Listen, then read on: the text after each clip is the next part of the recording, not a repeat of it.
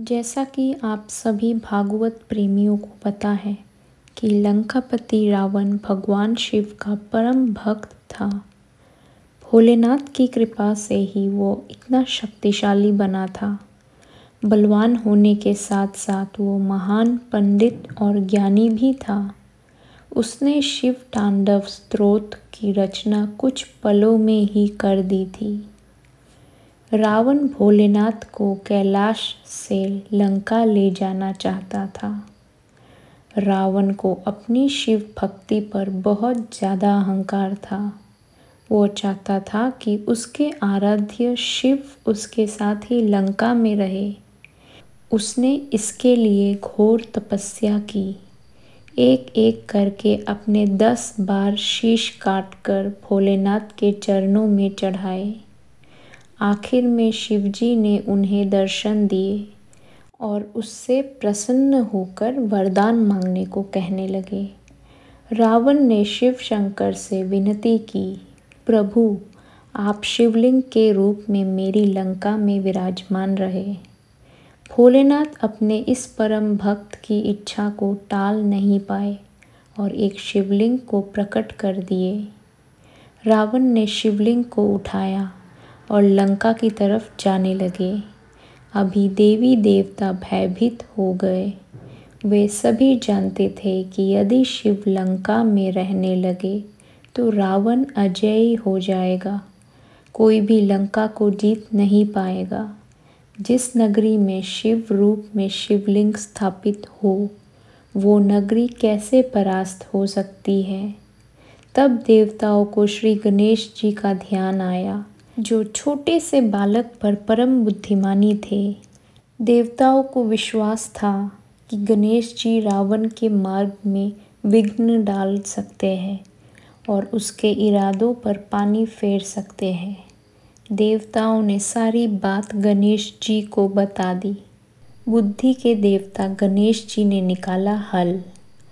बुद्धि के देवता ने अपना रूप एक ग्वाले का किया।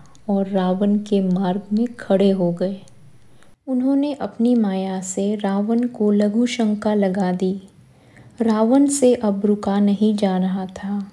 उसने सोचा, क्यों ना इस गवाले के हाथों में इस शिवलिंग को रखकर लघु शंका से निवृत्त हो आए।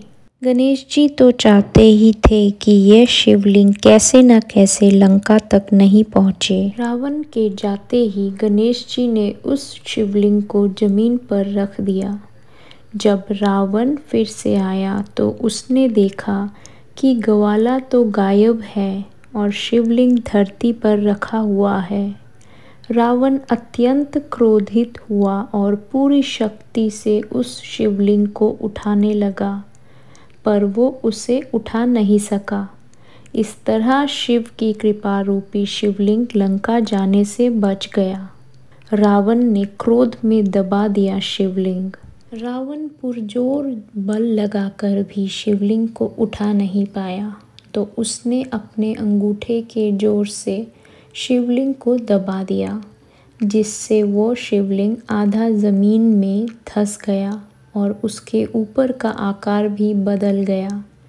अंगूठे के दबाव से उस पर एक गाय के कर्ण का निशान बन गया। आज भी दिखाई देता है यह शिवलिंग।